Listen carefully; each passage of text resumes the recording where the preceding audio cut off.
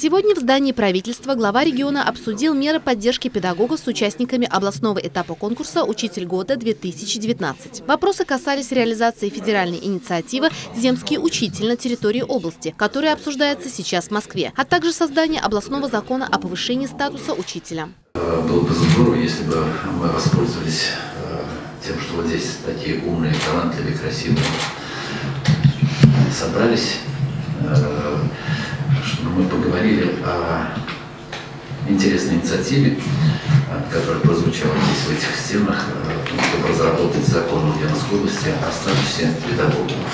Мы хотим действительно э, существенно повысить статус, э, существенно повысить, авторитет э, в обществе учителя, педагога. Так областной закон разрабатывается специальной рабочей группой с учетом опыта других государств. Документ в первую очередь будет призван защитить честь и достоинство учителя в рамках правового поля. В нем будут закреплены права педагогических работников, условия личной профессиональной деятельности, аттестация, повышение квалификации, виды поощрения и меры социальной поддержки. По сути, как вот у нас э, у депутата есть неприкосновенность, то вот э, педагог тоже должен иметь вот такую да, неприкосновенность.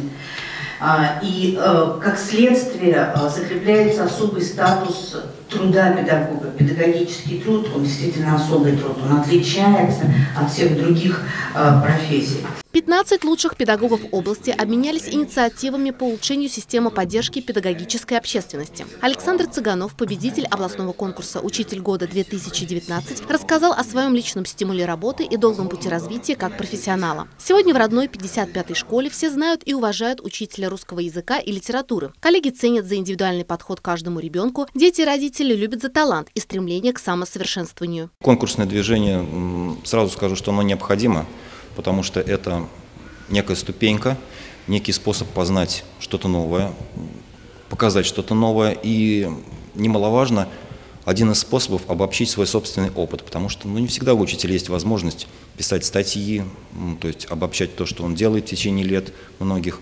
Конкурс – это один из таких способов. Глава региона Сергей Морозов еще раз поздравил педагогов с заслуженной победой и вручил призерам и победителям конкурса денежные премии в размере 30 тысяч рублей. За третье место – 50 тысяч рублей, за второе и 300 тысяч рублей за первое. Наталья Чумаченко, Руслан Баталов. Новости Ульяновской правды.